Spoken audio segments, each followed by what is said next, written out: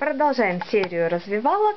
И э, с нами Руслан, который будет показывать, как интересно играть и заниматься с камешками вот с этой галькой.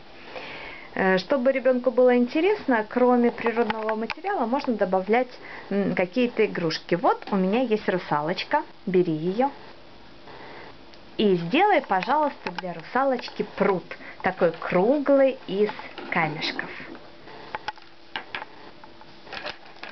Чем хороша галька? Она приятная на ощупь, природный материал, и с ней много можно придумать различных упражнений и заданий.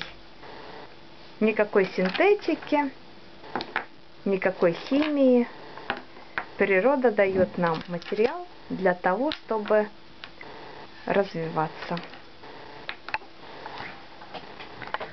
О, Руслан справился с заданием.